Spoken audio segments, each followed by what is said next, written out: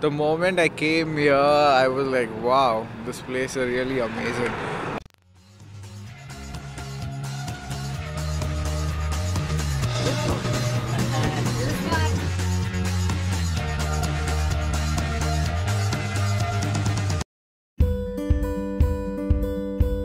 Welcome to Zaanse Schans.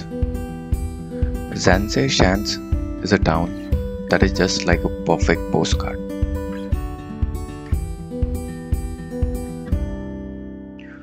You will find iconic views of eight windmills set on the river's Zaan, traditional houses, shops, and museums.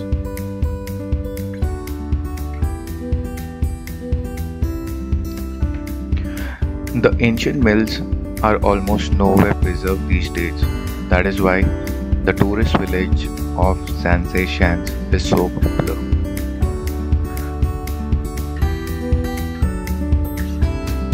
This is north of Amsterdam. It is a world-class heritage and Zaanse Schans lies by the water waves of the Zaan.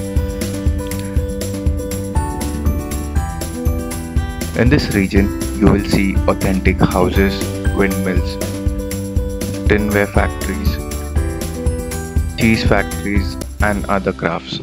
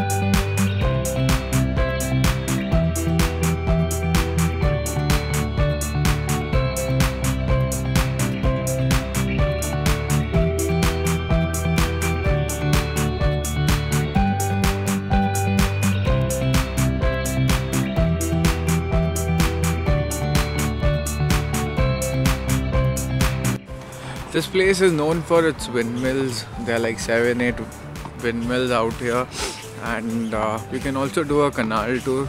The best place, uh, like uh, you can travel very easily here from Amsterdam. There's like a sprinter train that gets you here in 15 minutes, and from Zaanse station, it's like uh, 15 minutes walk to this uh, beautiful town.